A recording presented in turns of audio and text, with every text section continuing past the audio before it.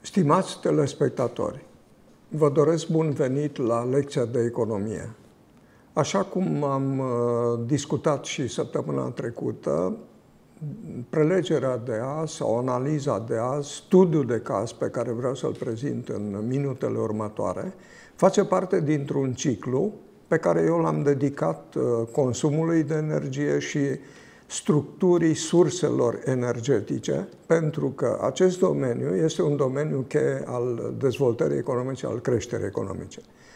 Uh, după părerea mea, sunt trei uh, factori fundamentali care generează creștere economică și acești factori sunt uh, esențiali. Evident, oamenii sau resursa umană, factorul uman, așa cum este denumit, sunt denumiți oamenii în literatura de specialitate, specialitate, mă refer evident la populația ocupată.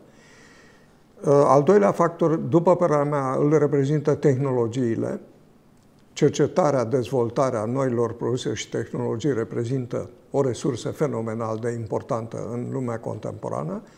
Și a treia resursă, după părerea mea, sunt resursele naturale în general, dar resursele energetice au o importanță decisivă în ceea ce privește resursele naturale. În uh, prelegerile trecute, în analizele uh, care au precedat uh, această emisiune, am vorbit despre în primul rând despre consumul de petrol, consumul de țiței, pentru că această resursă energetică este cea mai importantă, are ponderea cea mai mare în structura consumului de energie primară. În ordinea aceasta cantitativă, fără îndoială, a preferințelor pe care țările globului le au pentru utilizarea anumitor resurse, urmează cărbunii, cărbunele.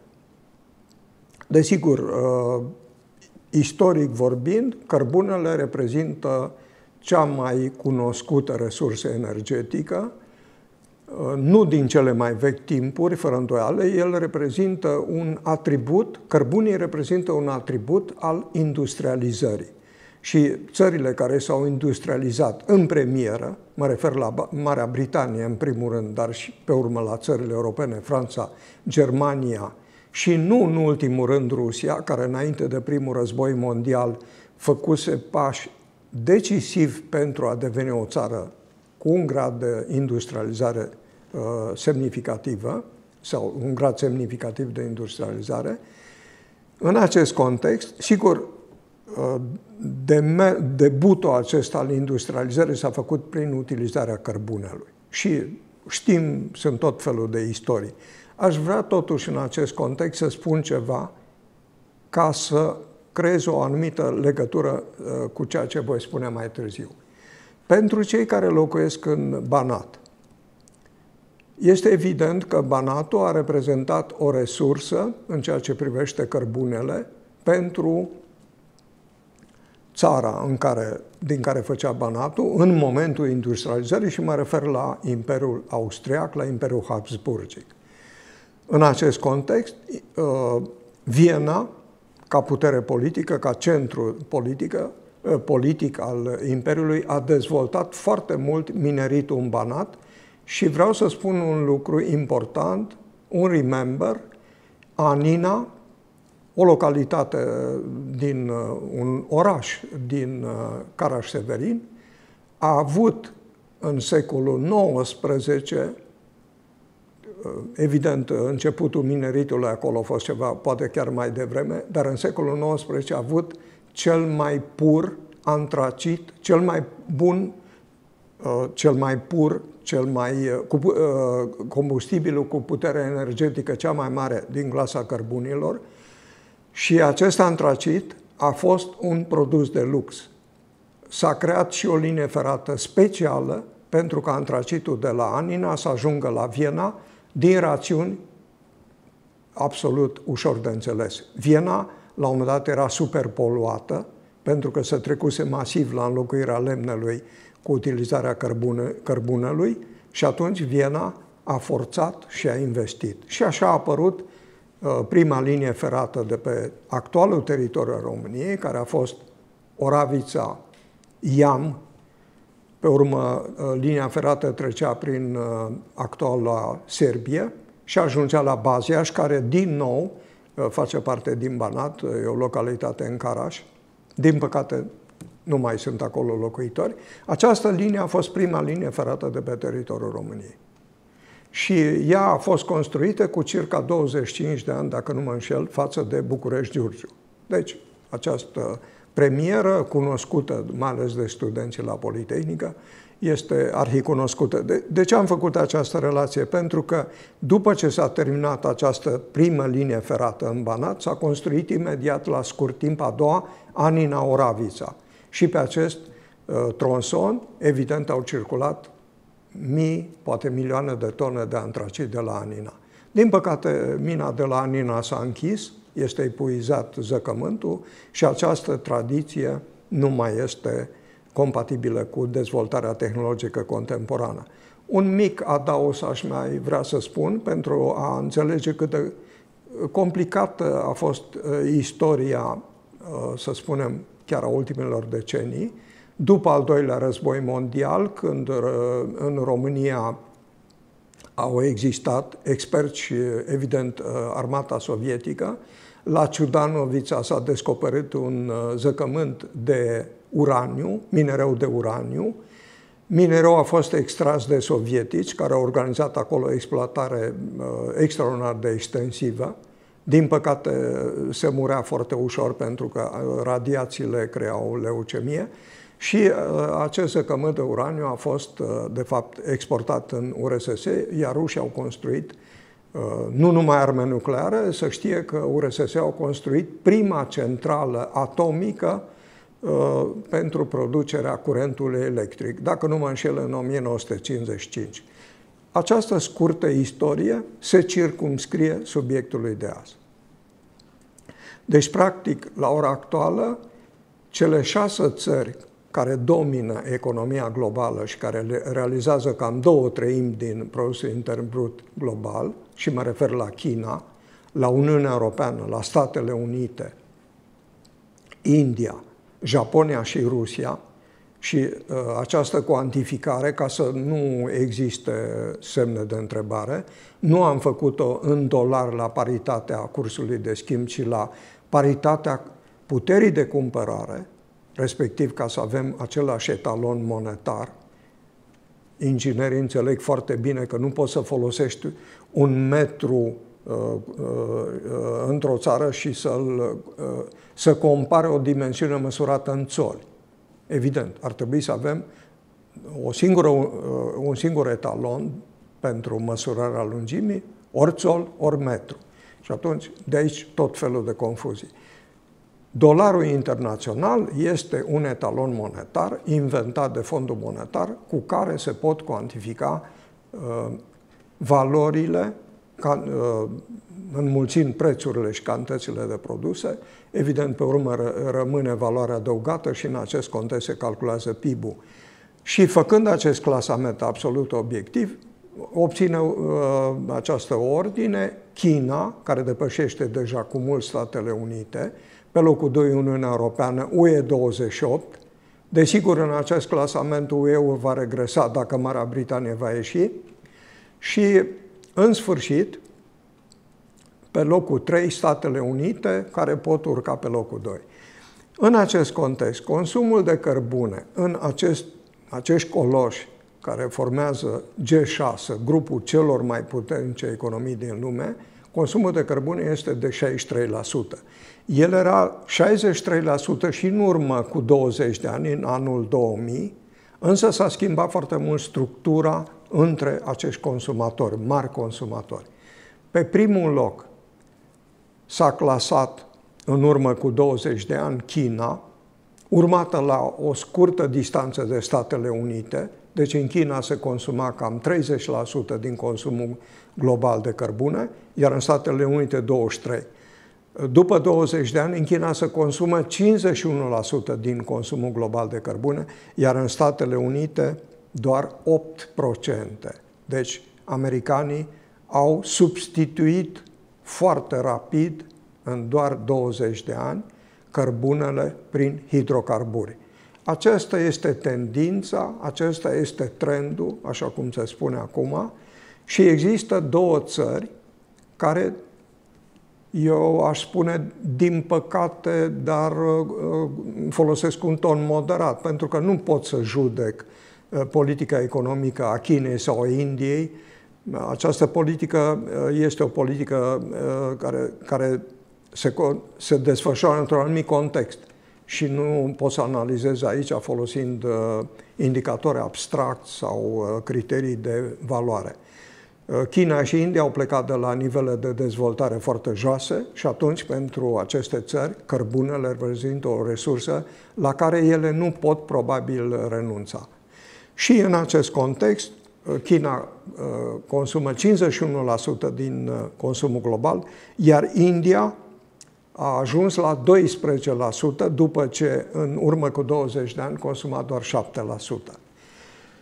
Desigur, ă, aceste țări importă foarte puțin, China importă o cantitate mică, India importă ceva mai mult și importurile, ă, din câte știu, sunt din Australia, pentru că Australia este o mare exportatoare de cărbune. Pe locul 2 se situează Rusia, dar Rusia nu este uh, un exportator, a pierdut acest statut după dispariția caierului și aș mai vrea să spun că Rusia și-a redus fenomenal de mult consumul de cărbune, dacă în urmă cu 20 de ani ponderea consumului din Rusia în raport cu cel mondial era de 5%, la ora actuală a coborât la 2%. Deci Rusia este pregătită să substituie complet cărbunele prin hidrocarburi. Și evident prin centrale nucleare, pentru că am spus uh, anterior, Rusia are acest primat tehnologic, ne place sau nu ne place, aceasta e realitatea. Uh, Rusia au construit prima centrală nucleară, fără îndoială au avut și accidentul cumplit de la Cernobâl, Însă, în continuare, centralele rusești sunt construite la câțiva kilometri de România, în Ungaria, în Turcia, în India, în China. Deci, Rusia uh, deține, dacă doriți, uh, uh, ponderea, cota de piață cea mai mare în ceea ce privește exportul de tehnologie nucleară pentru producerea curentului electric. Aceasta este situația la ora actuală. Acum, uh, revenind la Uniunea Europeană, ne putem întreba care sunt progresele făcute de Uniunea Europeană, pentru că, evident, substituirea cărbunelui reprezintă un progres în ceea ce privește reducerea poluării. Și din acest punct de vedere, Uniunea Europeană, care consuma în urmă cu 20 de ani aproape 14% din ponderea consumului din UE reprezenta 14% din consumul global, la ora actuală uh, Uniunea Europeană a redus cu mai mult de jumătate, deci a coborât la 6%. Mai puțin de jumătate consumă uh, Uniunea Europeană, inclusiv România. În privința României, desigur, uh, lucrurile sunt cunoscute, nu insist foarte mult.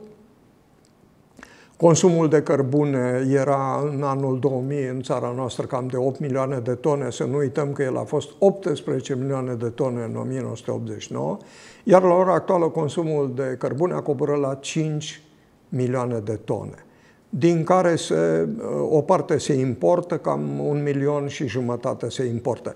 Deci mineritul, mă refer la extracția cărbunelor, este o o industrie reziduală, o industrie marginală care se tot uh, comprimă și este clar că în maxim 5 ani, conform și directivelor uh, Uniunii Europene, în România nu va mai exista extracție de cărbune. Evident, dependența uh, de importuri a României va crește, pentru că este mare și în prezent. Să nu uităm că 40% din consumul de energie este importat la ora actuală în România și această balanță, din păcate, tinde să devină tot mai dezechilibrată. Acestea ar fi principalele, să spunem, uh, informații și principalele realități în acest domeniu atât de, uh, de complicat și atât de tensionat, pentru că asistăm în prezent la o focalizare a motivațiilor pentru obținerea de hidrocarburi pe Orientul Mijlociu, care are cele mai multe hidrocarburi ca rezerve, de aici și conflictele probabile între Iran, Statele Unite, Uniunea Europeană și așa mai departe, sau relațiile foarte complicate.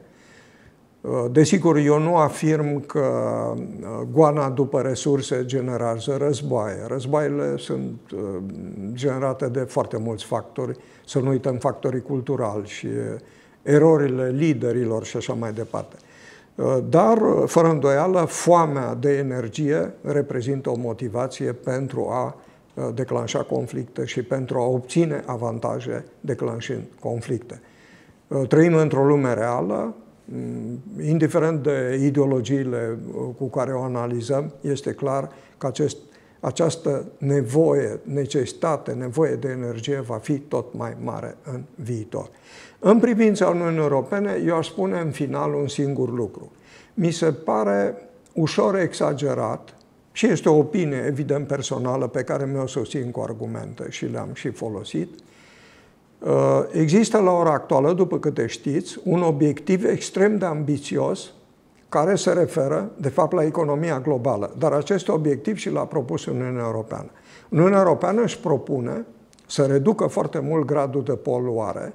Desigur, eu nu folosesc aici sloganuri electorale de tipul să reducem la zero emisiunea de bioxid de carbon. Și ceva e imposibil. Chiar dacă ardem lemne, se degajează bioxid de carbon sau dacă ardem uh, uh, combustibile obținuți din uh, reciclarea cerealelor și așa mai departe. Deci, acestea sunt sloganuri și nu mă interesează. Problema este următoarea. Uniunea Europeană nu are posibilitatea să influențeze tendința mondială, globală, în ceea ce privește poluarea. Și am dat exemple anterioare. Dacă nu se intervine prin noi tehnologii în China, în primul rând, și în India, atunci eforturile acestea uh, ambițioase ale Uniunii Europene, ale liderilor de la Bruxelles și ale guvernelor din cele 28 de țări, vor fi inutile. Vor rămâne undeva ca un enunț, ca o dorință, uh, uh, ca o poveste frumoasă, dar nimic mai mult decât o poveste. Eu cred că ar trebui mai mult realism și cred că ar trebui influențate prin relații amiabile și prin posibilități de a influența uh, guvernele din, uh, de la Pekin și de, de la New Delhi, pentru că aceste guverne uh, reprezintă la ora actuală factorii esențiali care pot Uh, uh, deplasa emisiunile de bioxid de carbon într-o direcție sau alta. Dacă China sau India își reduc uh, semnificativ consumul de cărbune, de cărbuni, atunci, evident, la scară planetară, toți vom respira un aer mai, mai curat și mai puțin poluant. Dacă aceste guverne, în contextul obiectivelor pe care și le-au propus, nu vor face acest lucru, atunci uh, vom asista la o discuție sterilă uh, cu tot felul de promisiuni, dar aceste promisiuni vor fi uh, utopice. Cheia problemei se află la Pekin și la New Delhi și acest lucru trebuie înțeles, părerea mea, și de noi, oamenii care nu luăm decizii politice, dar mai ales de către oamenii importanți care iau decizii la nivel planetar. Vă mulțumesc foarte mult pentru atenție. Thank you.